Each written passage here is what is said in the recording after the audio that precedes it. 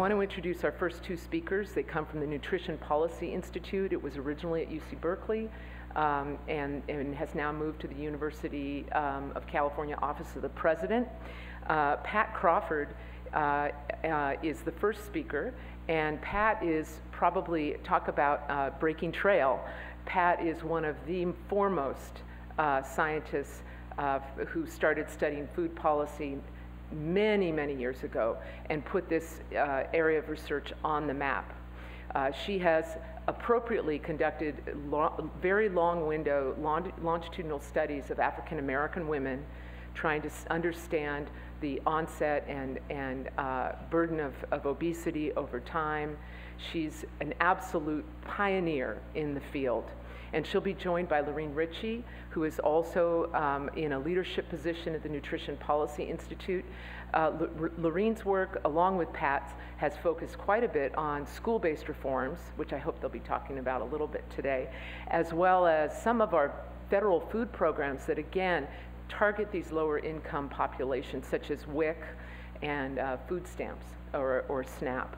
So with that, I warmly welcome both of you to join, join us on the stage.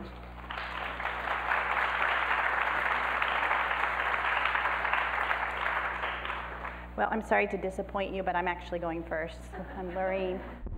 Um, but Pat uh, will go second, and I always insist that she goes second because she is a much harder act to follow than I am, so I'm happy to, to be before her. Um, so uh, this morning, uh, Janet Napolitano, who's many of our boss, high up boss, uh, said a quote um, that good science is needed to inform good public policy. And at the Nutrition Policy Institute, we like to think that that's what we do good science that can inform um, nutrition policy. Uh, I'm going to share with you a little bit about um, the methodology that we have used over the course of many years now to have our science findings be translatable into policy. And Pat is going to end with a few remarks upon that. But basically, through trial and error and the inspiration of Pat and the late Sarah Samuels, we have developed uh, what I call a trifecta um, of methods. Uh, we do the traditional quantitative data collection, but we marry that um, with qualitative data collection. And for those of you who are basic scientists, as, as I was trained, I used to poo-poo that kind of research and think, oh, um, how lame is that? You know, no control group, you're asking people, random people questions that are about their feelings. And what I've learned as the, uh, over the course of trying to inform decision and policymakers is that yes, data is powerful and that quantitative information is very important, but the stories, the context, the voices of the actual people being affected speaks volumes. So we always marry the quantitative and the qualitative. And then the third piece, which I think is the most innovative, is rather than us as researchers going out to decision makers and saying, this is what we found and this is what you should do, we say, this is what we found, what do you think we should do? And we let them generate the recommendations, the ideas, and in doing so, by bringing forward a variety of stakeholders, we found that they're empowered to make the change, they're engaged in making the change, and, and, and our work is much less intensive. And then the last part, which I forgot to change this slide, but partner with an advocacy organization. You know, as university folks, you, um, you can share information, you can't lobby, and you're walking in gray waters when you try to advocate. But advocates can do all of that for you. So if you have a good partnership, you're in really good shape. So I'm going to talk a little bit about early childhood and some of the research we've done to inform some of the environmental changes that we heard in this morning's talks were important um, to be done. And then Pat's going to talk about school-age children. So why young children? Um, well, nearly 11 million U.S. children under age five um, are in childcare. So that is the biggest place that you can get the biggest bang for your buck in terms of reaching the most young children. And at these childcare sites, the typical child consumes about half of their daily calories. We know from other studies that in early childhood is when those habits are formed. We talked a little bit about this morning of probably potentiating some of that food addiction in very young children. Well, the good habits and the bad habits tend to be formed very early on. Uh, childcare is a wonderful opportunity for engaging parents. And if we're in the business of preventing bad habits, bad nutrition, poor physical activity, and obesity, and nearly one in four children are already overweight by the time they start school, well, you can't wait till school age before you start working on this problem. Um, and we also know that in addition to food habits, overweight tracks. So in 2008, we did a study again with some advocate partners, the California Food Policy Advocates, and they wanted us to tell them what was going on in the food environment in childcare. And like good researchers, the first, very first thing we did was go to the literature and we said, ah, well, we've been doing a lot of work in school, not hardly anything in childcare, and nobody's working in childcare, hardly anybody. So we were one of the first to publish a study that looked at all the child care settings in California. And what we found is that those that participated in the food program, that's called the Child and Adult Care Food Program, it's the same or very similar to the school meal program, but it's the child care version for low income families. They did better. There was more milk served to kids, less juice, less sugary drinks, but still a lot of kids were drinking whole milk um, when they should have been on lower fat, and a lot of kids were drinking we're not having water. So we worked with our advocate partners using that three trifecta method that I mentioned uh, to get a bill signed by Governor then Schwarzenegger in 2010, which went into effect in 2012. And I'm happy to say that this AB 2084 is to this date the most comprehensive beverage bill in childcare, in schools, anywhere in the nation. Um, and it says that kids uh, two and older must have lower fat milk. Juice can be served, but it must be 100% and no more than one age appropriate serving per day. Water must be available to children at all times.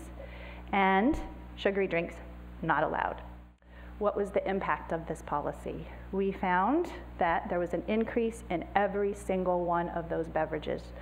More, wa more water was served with meals and snacks, easily available for self-serve. Juice, less juice was served more than once per day, and sugary drinks went down. But when we asked people, what is your knowledge of the legislation? The answer was only 60%. So only 60% of the providers knew that this was a statewide law. And when we measured full compliance with all four of those beverage regulations, only about a quarter were fully compliant. So we knew our work was not done. We had not solved or fixed the child care beverage environment. So we went to our conveners, our stakeholders, and said, What do you recommend? And this is what they said We need beverage policy in all child care guidance, we need beverage policy in provider trainings, and we need advocacy for this kind of stuff in other places. So that led to a second bill, which in 2013 mandated that all child care providers get one hour of training on nutrition. Now, that may sound like, wow, the person I leave my child with has only had one hour of training on nutrition. Prior to that, the number was zero, and there only is 15 hours total mandatory training for child care providers. So, this was a huge step in the right direction. Um, the good news also is that as a result of these kinds of policy levers, as well as a lot of other activities going on, we are seeing improvements such that sugary drink consumption among this age group is going down. But we're not done. Uh, we still have work to do, and so we're following up with many other studies. And this is the kind of cycle that we like to do, where we do an initial study followed up with some findings. That results in some policy. We evaluate that policy, see what other tweaks we need to do. And so that's what we're continuing to do in the childcare world. And with that, I'm going to pass the torch to Pat.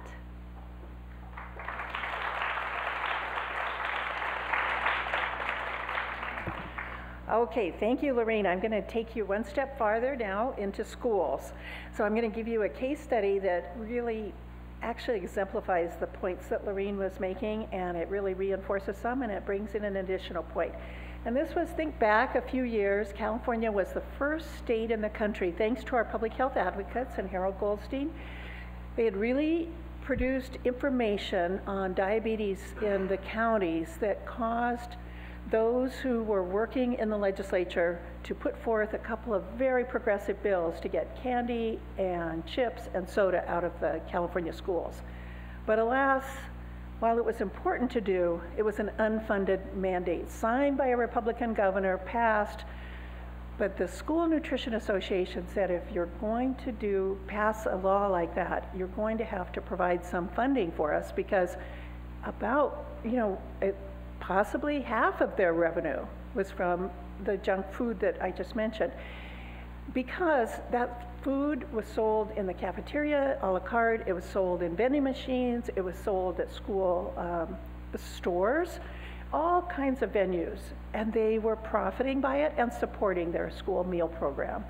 So it languished in the legislature until the Department of Education said, how much is really lost if we do take those foods out? And the leader of the nutrition program that said, if I can get some money, can we do a study? So we jumped on the opportunity to do a study in 16 schools. Um, we removed those three items. We um, gave the schools a very hefty amount because nobody wanted to try such a thing and lose a lot of money. So we, they were provided with funding from an outside source that was willing to do this to see how much they would actually lose. And so we went into the schools and we measured all the revenues and the expenses. And lo and behold, it was an enormous surprise to the school nutrition folks, to the researchers who should know, to the advocates, to the Department of Education, to people across the country. Those results were used immediately. 13 out of the 16 schools made more money when they quit selling those foods. I mean, talk about an exciting study. So this is just an example of one school to show you what happened. That in the first part of the, uh, look to the left, the top line on the graph is that amount of total revenue. It's coming from those two lines below, that's the school meal program, and the competitive food or a la carte food, so separate foods that they sell. After it was changed in the summer, there was a big bleep because of uh, you know, some extra promotions in the cafeteria. But the lines ended up, look to the far right there, the lines ended up with the total amount being just the same as it was before. But all the money was coming from the school meal program. Hence the reason why that was uh, that information was provided to the advocates who then took it forth and said, we now can move forward. And the School Nutrition Association and the folks leading that said, we will agree. We can move forward without any costs, um, uh, you know, paid to the school. So it became the, uh, the law of the land in California, the first in the nation. But that's not the end of the story for us. We did the first study, but as Lorrene said, research to policy is often, it has to be iterative and you have to keep on going. Because what's the first thing that happened after it became law? Industry, as Laura was saying. Well, those children, they've lost their freedom first of all. they cannot buy those foods. So, and second of all, you know, that they're just going to buy it before school or after school. So you've now pushed it into the marketplace where it shouldn't, you know, it should be more convenient in the schools. They shouldn't have to go to other, you know, stores along the way.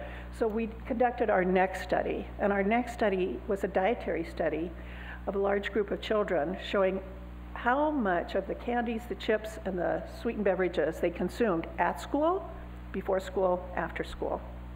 And what did we find? We found those bars going down. Those are the consumption levels at school of those products went down. The little um, orangish bars or yellow bars going up, that's how much the consumption increased um, at home. So you can see bits of increase, but that is not called compensation.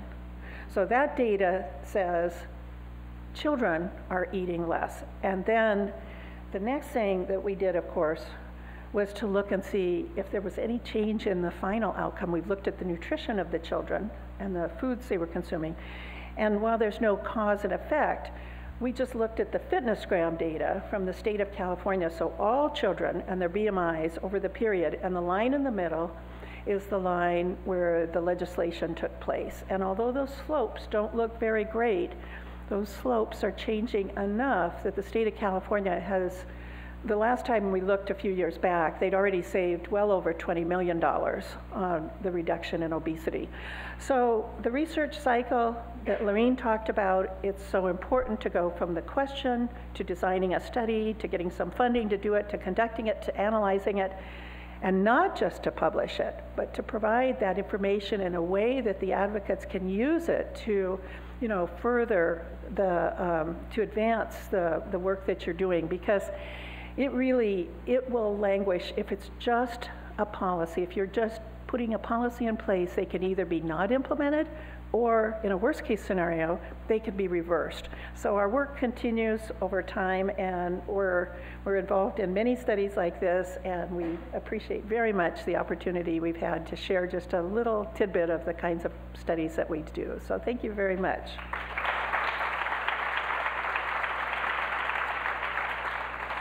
So here we have, California is uh, larger than most European nations.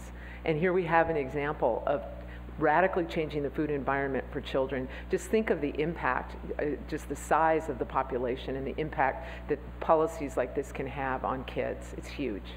Uh, we have a, a, a little time for questions. I just wanted to add an observation. Um, as a mom, again, of a daughter who played sports after school, and um, what I noticed was that after games, it was soccer she played, and so I'm sure I'm not alone in this room, um, being one of those moms. And all the parents who brought junk food after the game, so you'd be engaging in exercise. And um, as much as I tried to talk to the coach and other parents about that, could we just maybe bring some orange slices or something like that, or apples? I was the healthy mom who was boring, and all the other moms were really, you know, quite, um, they were the go to moms. So I'm just wondering if we can extend, or if anybody's thought about extending this out to the sporting world because that message is not there at all either. Absolutely, there's room for more policy interventions, but the YMCA, for example, is one of the national leaders on adopting policy for their clubs and what can and cannot be uh, fed to children. Um, when I was a young mother, and this was many years ago, uh, my sons both played baseball, and I remember going, what's it called, opening day, where you walk around the track and you all, they all have their uniforms, and the kids in front of us were sponsored by Krispy Kreme. And I took a deep breath, and I started to have a little tantrum, and my husband knows about these, and I said, oh my God now they're going to see that. That's like walking advertising. And he goes, No, they're not paying attention. They're into the baseball. And a, another kid walks by us and says, Oh, mom, I want a Krispy Kreme. and I said, Yep. So it just speaks to the fact that um, if we really want children to make healthy choices, we're going to have to ha- surround them with healthy choices. And of course, you can have a Krispy Kreme once in a while, but it, right now they're ubiquitous. Yeah. I was just at the Warriors exhibition game last week, there, well, no, when they won, beat Portland, and and no, not that was the regular season. They won in the exhibit. There were no advertisements for junk food in Oracle Arena.